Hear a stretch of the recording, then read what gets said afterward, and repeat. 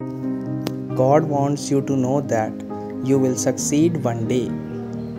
Something you have prayed for is about to arrive suddenly. The universe is shifting things in your favor. Angels are working for you. Something you have prayed will arrive soon. Very soon, things will fall into your place where you want them to be placed. Type yes if you believe.